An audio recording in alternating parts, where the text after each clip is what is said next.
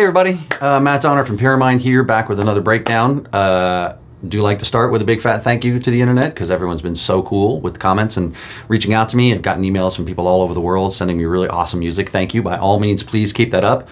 Um, the inbox is getting a little full, but uh, if I'm a little slow getting back to you, I apologize. I'm going to do everything I can to get to get back to you. Uh, I do get back to everybody. Uh, it might take a week or so. I'm just kind of got my hands full at the moment, but don't let that stop you. By all means, send in stuff.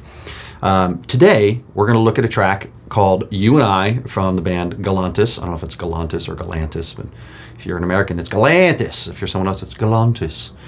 I'm not sure, but that's not the point. The song is You and I by Galantis.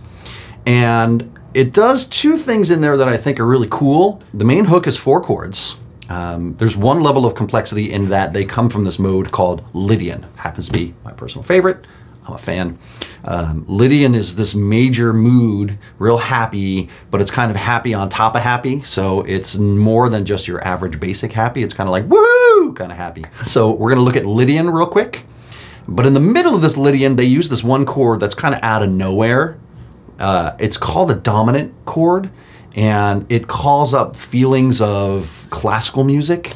Uh, if I pull up strings for a moment, I will demonstrate in the key of C, which is not our key. I'm just going to do C for demonstration purposes. Um, if we listened to, that's the old Danny Elfman Batman theme, or if I do it down here,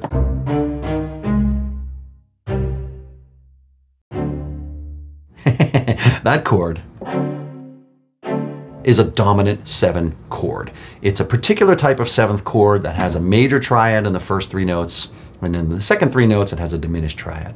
Well, interestingly enough, this sort of dark, gothic, classic chord is in the middle of our otherwise woohoo happy Galantis track. And I'll point it out to you. I've got a little loop. I've um, I sampled a small bit of it and looped it and warped it and put it into the tempo I wanted. It's actually at 126. I put it at 124 for reasons I will show you later.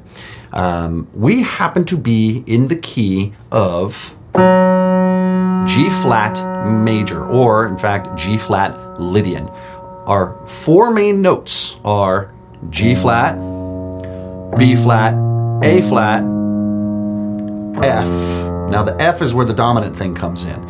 For the other three chords, one, two, three, one, three, two, these guys are a one major, three minor, major, and that's where things get Lydian. Because in a major scale, a two chord is minor. It would be this guy. But that, that doesn't sound like our song. It sounds sadder, which is why, even though it's a major, major's happy, our Lydian, happier. So we have a one chord, a two chord, a whole step away, that's also major, a three chord that's also a whole step away in minor. So we've got a one major, three minor, two major. That is Lydian. Okay, in fact, all you need are the one and the two to make Lydian, but those are the chords. Uh, and then the fourth chord is this dominant chord. Let's take a listen. So what I'm gonna do is I'm gonna trigger the clip and I'm just gonna play one, three, two, three. This third note, the third, this guy, B flat, it's correct the first time, it's incorrect the second time. I'll fix it afterwards, but for now I'm just gonna do it so you can hear along with, and then I'll play the chords, then we'll show why this other note is something different.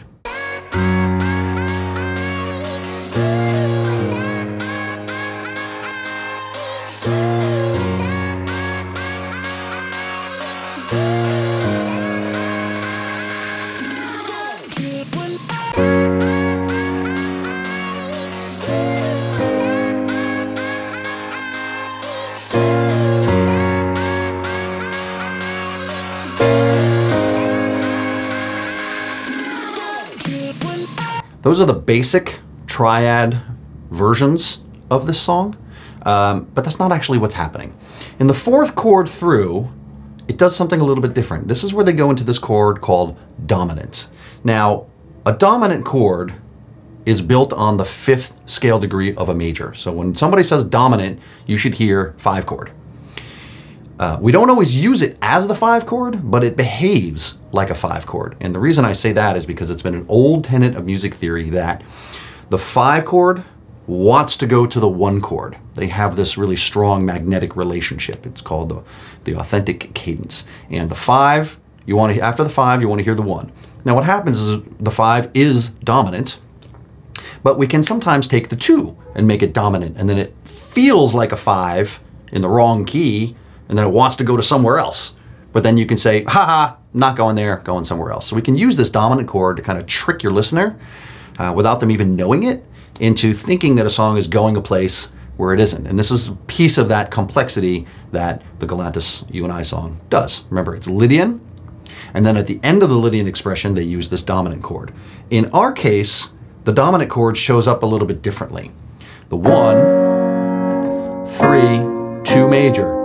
And from the two major, all you have to do is take the root or the thumb and move it up a half step, and then you get this chord. Now this is a diminished triad. You have a minor third and a minor third, and it gives you this like kind of uh, like the Dick Dastardly, whoa, ha, ha, ha, ha, like the tie the girl to the railroad tracks chord from the old silent movies. Is the joke I always use. So we have, we end on this uh, A flat major, but then we get into an A natural diminished. Now, when you hear a diminished triad, you can instantly make it or assume it's dominant. The dominance is F. There's the diminished, the diminished triad is A, C, E flat. If you make it F, A, C, E flat, you end up with an F dominant seventh chord. Now F, if it's the real five, it wants to go down a fifth here to the B flat one. That's not what we're gonna do. And so what Galantis does is they trick you into thinking that from this F, instead of going to B flat, they go right back to this G flat major, or our Lydian one. And so that gives you two moments of unexpected chromaticism. Chromaticism means one note going to the note directly next to it, not in the key. So we have it here. One, three, two, chromatic, implied chromatic, chromatic again. So that's that motion, that sort of like moving to the note next to it accidentally or unintentionally or intentionally but unexpectedly and then moving back creates this moment of sort of unexpected tension bringing it right back to the loop. Let me point out again where it happens. It's in the fourth chord of the expression.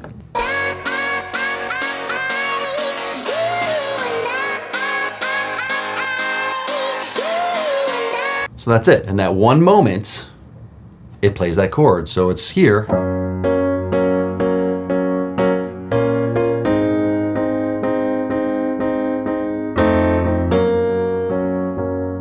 That's the loop. So that's the complexity twice.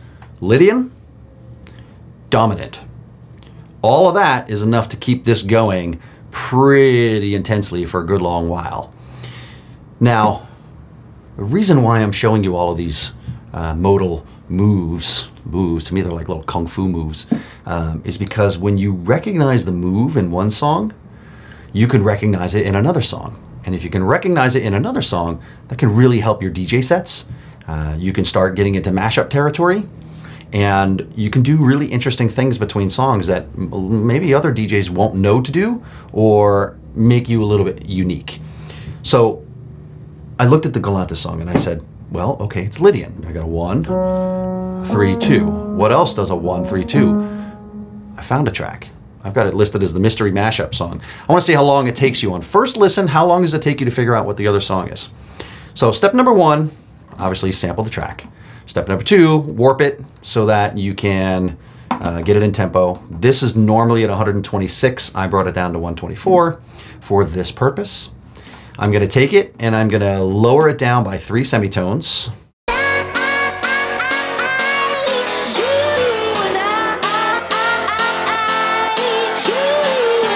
take the other clip and also lower it down.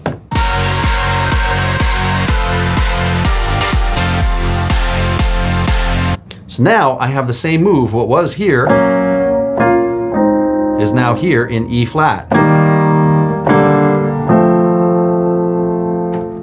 G flat, F, E, E flat. I moved it down three semitones from G flat to E, and now I have it here, which allows me to do some pretty interesting mashup work. And if I wanted to,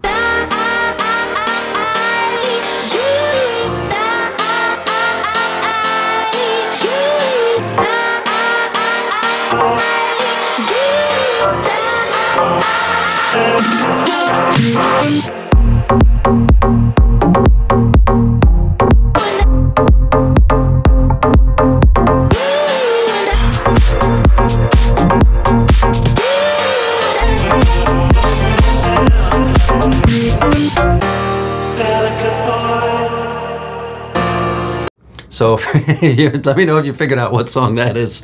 It's the same exact move. It's the exact same chord progression. One's in one key E flat, one's in the other key G flat. Same move. All of a sudden, simple warping, simple pitch correction. I've got the same thing. I can easily play back and forth between these songs.